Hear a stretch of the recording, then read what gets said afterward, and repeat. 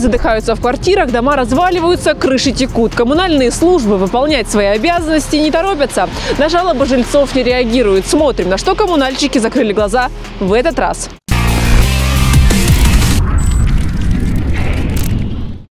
Задыхаются в собственных квартирах. Жители поселка в Павловском районе страдают от стаи собак, которую приютил сосед. Вот видно что-нибудь, нет? Вот, а больше я не смогу, они выйдут. Запах, конечно, хороший. У нас оттуда идет, вообще невыносим. Он, видите, что лежит? Ну, то просто капаем, вот гвоздику, масло на вот эти, чтобы она запаха не было. Штраф за подкармливание птиц коммунальщики предложили наказывать рублем за любовь к братьям нашим меньшим. Ну или, как они сами выражаются, за нарушение порядка проживания. Жители в шоке. кормят, они заботятся о животных. Что ж в этом плохого? А то, что они немножко гадят, но дождь смывает все. В шаге от трагедии жители села Санникова Первомайского района экстренно отключили от голубого топлива. Причина – утечка газа. У меня закружилась голова. Вот я потеряла сознание. Инсульт поставили ишемический. В МЧС они измерили, а оказалось там это огромное количество угарного газа.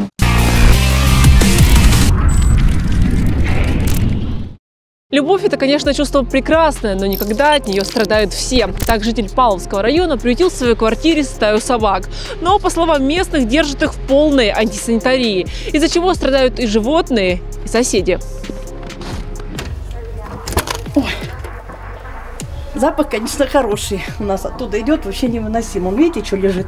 Ну, то просто капаем, вот гвоздику, масло на вот эти, чтобы она запаха не было. Тут вообще, ну, потому что он и гулять не вводит.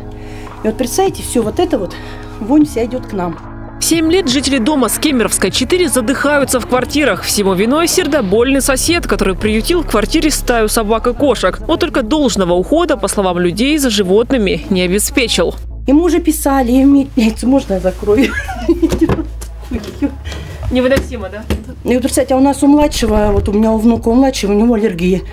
И вот, тут, представьте, вот этим дышит ребенок, постоянно соплями, постоянно. Ему говорим, вы уберите собак хотя бы, ну, ну представьте, однокомнатная квартира, пять собак и шесть кошек. И гулять не ходит. Содержит не как домашних животных, а как домашний скот. У меня дочь ходит только со мной, боится. Я хожу, встречаюсь со школы. Да. Потому Детей что- встречаем. Ну, вот буквально год назад я не могла с месячным ребенком подняться на руках и с дочерью приклеить. На детей лично я видела, как они кидаются на детей. Вот здесь мальчик шел, и она кинулась, эта Ну, он собака. смеется Он при этом. одну держит на поводке, значит, без намордника, а это просто так бегает. Это вот он месяца два только их не выводит, а он ходил с ними, они кидались. Собаки не виноваты, конечно, мы это тоже прекрасно понимаем, что хозяин виноват.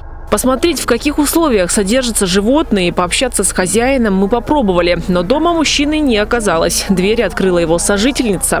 У нас раньше была одна собака, а сейчас их уже восемь здесь. И вот я, я даже не знаю, у него, наверное, крыша поехала или ничего. Они так-то не агрессивны, но вот к нам вот лично вот уже сколько, никто не может зайти. Вот туда проходит, все, и начинают гавкать. Сами, видите, постучали, я я их не могу удержать, чтобы кого-нибудь запустить туда. Они даже дверь дают открыть не получится. Ну как, вон, одну, одну видите, вон еще. Вот, видно что-нибудь, нет? Вот, а больше я не смогу, они выйдут. Кстати, этажом ниже, под квартирой с собаками, проживает пожилая бабушка. Ее квартира уже давно пропиталась едким запахом от животных. Видите, все он просачивается. Скажите, пожалуйста, как вы здесь живете вот в таких условиях из-за соседей? Потихоньку терпение надо, терпение и терпение. Больше ничего. Вы показывали соседу этому, который держит собак, потолок ваш? А как же и не показывал? Сказал, это у меня кошки. Легли он там на эту, на шкафы и тисили туда. Жители неоднократно жаловались на собачника в региональный Роспотребнадзор, полицию, администрацию поселка, но пока без особых результатов. меры, кро- кроме административного наказания, то есть штрафов и собеседований, ну, мы ничем не можем наказать. По закону конкретно нет количества животных на квадратный метр. Ну, не указано. А получается, что собак мы охраняем, кошек мы охраняем, а людей охранять некому. Обращаются жители в приюты, чтобы те забрали животных, но тоже пока безуспешно. По словам сожительницы собачника, мужчина пообещал в очередной раз вывести животных из квартиры, оставив лишь одну собаку. Однако люди не верят очередному обещанию и уже подумывают подать на сердобольного мужчину коллективное заявление в суд.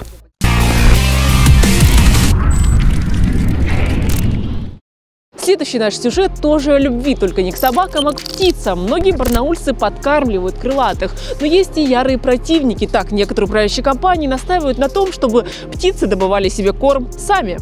Это объявление от управляющей компании облетело социальные сети чуть больше недели назад. Специалисты УК Южкомсервис сообщили о штрафах за подкармливание. Вы только вслушайтесь, птичек, мол, всех не накормишь, а продукты жизнедеятельности никому не нравятся. На коммунальщиков обрушилась волна негодования. Жители объяснили, насколько важно кормить братьев наших меньших. А кормить, я думаю, их очень нужно. Ну, от кого они еще получат? У них нет денег, они как купят себе еду? Где-то, наверное, в десятых числах марта обнаружил я такое обращение к людям. А, не надо кормить птиц, снимите кормушки, э, они тут везде гадят, пускай ищут корм в лесу. Это меня очень сильно возмутило, как будто там в лесу все для них ждут. После волны возмущений в интернете, говорит Сергей, объявление, запрещающее подкармливание, экстренно исчезло. Когда появилось вот это вот обращение, сразу исчезло объявление. Видать, наверное, они поняли, что что-то сделали не так. Кормят, они заботятся о животных. Что ж в этом плохого? А то, что они немножко гадят, но дождь смывает все. Сергей говорит, что хорошо бы, чтобы в городе появилось больше кормушек. Раньше было чуть ли не на каждом дереве кто-то для себя кормушку выходил там с ребенком э, накормить, а тут куда-то они все подевались. Неравнодушные жители барнаульского пригорода призывают не только подкармливать крылатых, но и по возможности сооружать для них кормушки, если, конечно, никакая управляющая компания вновь не потребует их снять.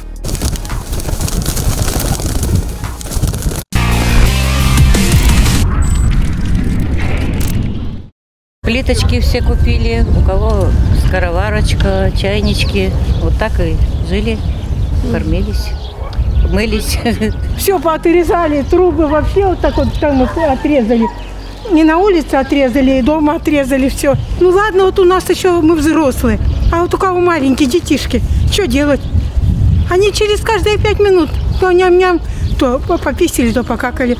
О том, что сотни человек остались без голубого топлива, мы рассказывали в рамках новостей на прошлой неделе. В одном из домов в селе Санниково Первомайского района произошла утечка газа. Одна из жительниц чуть не погибла. У меня закружилась голова. Вот я потеряла сознание. Инсульт поставили ишемический. В МЧС они измерили, а оказалось там это огромное количество угарного газа. Во избежании трагических случаев газовщики перекрыли подачу топлива. А между тем жители попали в настоящую ловушку. У них не только нет возможности приготовить еду, но и помыться. Воду жители нагревали с помощью газовых котлов. Надо помыться, а бабушке 83 года, в апреле будет 84. Куда я ее потащу? Как? То я ванну набрал, помыл, ее помог помыться. А сейчас вот и самому 83. Вот так вот и живи как хочешь. Специальные проверки показали, что показатель вредных веществ превышены в соседних многоквартирных домах. Пожарники, газовщики, которые быстренько прошли через квартиру, проверили а, стояки да, наши. И получилось так, что в одной квартире по одному даже стояку есть тяга, в другой квартире нет.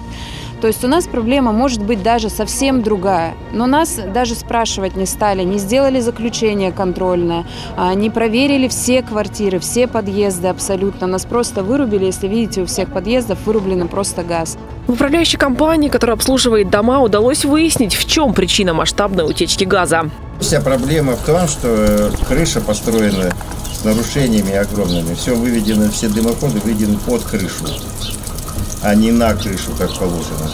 Вот, вот, вот в этом вся проблема. И сколько домов э, так сконструированы? Да практически все, где шатровые крыши.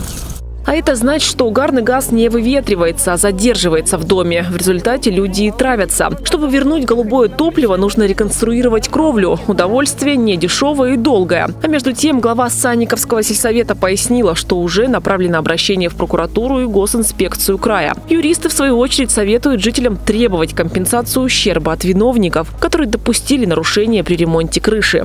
Можно будет обратиться за защитой своих прав в законном порядке, в законном предусмотренном порядке, направить претензию виновнику произошедшего и, возможно, напрямую подрядчику, угу. либо субподрядчику. Если ответа не последует или там э, восполнение, так сказать, э, понесенных э, понесенных там страданий, ущерба, может быть, который мог возникнуть, то такие вот граждане могут обратиться за защитой права уже в судебном порядке конце прошлой недели дом по центральной 118 начали вновь подключать к газу. Но лишь плиты люди по-прежнему без горячей воды. Вопрос по частичной газификации остальных двух многоэтажек еще прорабатывается.